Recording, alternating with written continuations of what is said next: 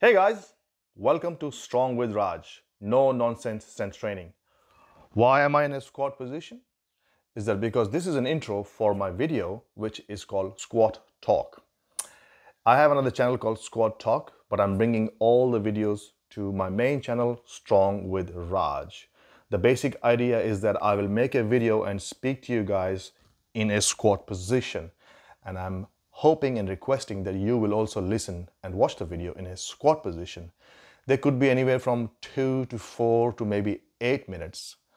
This will ensure that I am in a squat position on a regular basis, maybe daily. And also it can help you if you want to be able to go back to the roots and be comfortable in taking a position of squat.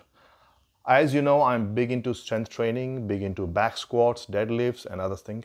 But this particular playlist is just about being able to be in a squat position like we always have been and maybe restart and recreate that habit that we've forgotten to be in a squat position.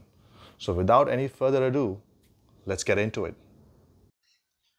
Hey guys, welcome to Daily Squat Talk number 6 where I will be talking to you in a squat position the entire video and I hope that you are also in squat position or at least trying to. So, yesterday in Daily Squat Talk 5, I talked about flat foot theory and I was thinking about later on how it affects other movements, the same theory. So, as some sort of analogy might just help you understand. So, if you do push ups, you always do your push ups with palms flat. And if you do push ups with only your fingers and thumb, you won't be able to do as much. You still have the same strength, but you're not able to transform or transfer that strength to the rest of the body. So flat, more surface, and hence more power transfer. Same thing with squat, flat foot, squat up, down. Anyway, that's about yesterday. So the topic today is my YouTube channel unique? I was thinking about it and I think it is.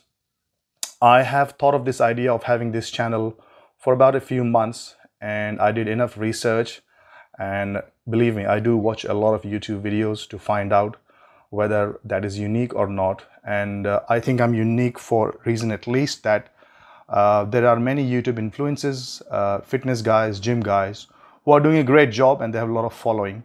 And uh, but I wanted to be a bit different and provide a different point of view. And my point of view is that I will improve at something while I'm asking you to improve, and also um, keep it simple and have a bit of a authenticity, I suppose is the word I'm looking for. I'm not here to try and sell you any products or give you any promises of six packs uh, or, or muscular body or weight loss. None of that. It is just about achieving something simple in your daily life, which is sitting in a squat position, which has a ton and tons of uh, benefits. But I'm going to talk about them in later videos. But for now, it is all about being authentic and simple in my approach.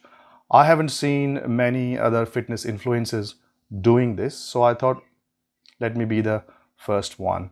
I don't think there is anyone uh, who sits in a squat position doing a video. So that way I think my channel is unique. And if you agree, just write yay. And if you disagree, just write nay in the comments. Um, having said that, I have came across quite a number of unique channels because as I said, I did enough research and some channels are just out there. They are unique and also a little weird. I came across a channel which is 90 or 90 hours of clock ticking countdown. It's face it's a thing called faceless channel. So and there are quite a lot of views on that clock ticking down. For the first time I came across someone watching someone playing a video game. That was really weird and unique to me. But I do believe gaming niche is very huge and uh, what a wonderful opportunity it is for gamers to showcase their gaming abilities and at this point, I have come to realize that what an amazing platform YouTube is. not just YouTube, your Instagram, your TikTok, and all other such platforms who have, in a way, uh, democratized the content creators platform.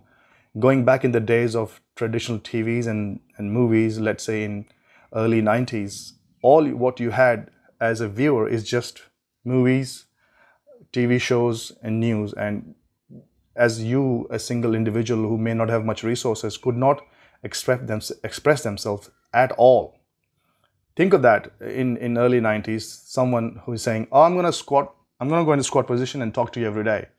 And it would be dismissed and people would laugh at it. But now it is possible. So thanks to YouTube and all other type of platforms that is out there, which makes it possible. As I said earlier, that it was Ivan Juric who, uh, who sort of inspired me. And I do believe his channel is very unique he uh, he showcases his lifts, his squats, and his exercises every day, and he posts every day. And he's very authentic in his approach. There's no fluff at all. He just says it as he feels it.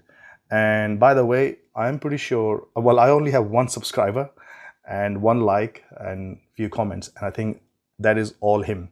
So I'm really still waiting for more subscribers to subscribe to the channel and uh, to see if there is any value for them. So um, I have a timer running in a laptop behind the camera. It's almost uh, five minutes and I'm still very, very comfortable. And in the future videos, I will give you more tips as to how you can be in squat position for longer time and be comfortable. And of course, if you can't start in this position, there are many ways that I can tell you and show you how to start your journey. So my channel is still very, very new and I'm learning a lot. And I would appreciate if you could just show me some support, like the channel and subscribe and comment. So that was for it. I will see you for the next video tomorrow.